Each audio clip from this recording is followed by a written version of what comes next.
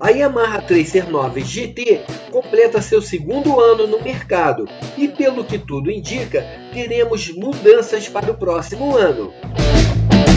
Flagrada na pista de testes da Bosch na Alemanha, onde ocorre grande parte do desenvolvimento da marca, a motocicleta aparece com um modelo de radar frontal já adotado em algumas motos premium.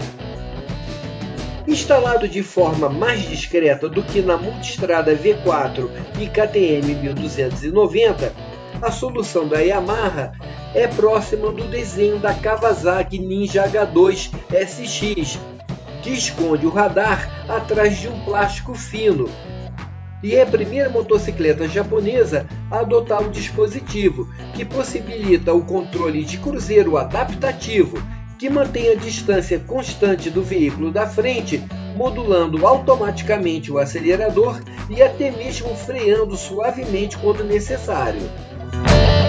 Outra mudança observada é o grande painel TFT do tamanho de um tablet.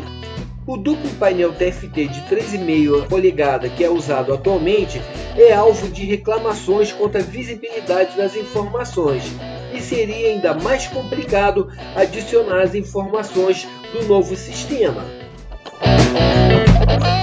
Podemos observar um aparelho fixado ao lado direito do painel com vários cabos conectados e o radar também com cabos aparentes, o que reforça que o dispositivo está em testes de aferição e ajustes.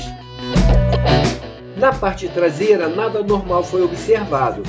Creio que um radar traseiro iria elevar muito o preço da moto, aproximando o seu preço às motos premium de alta cilindrada.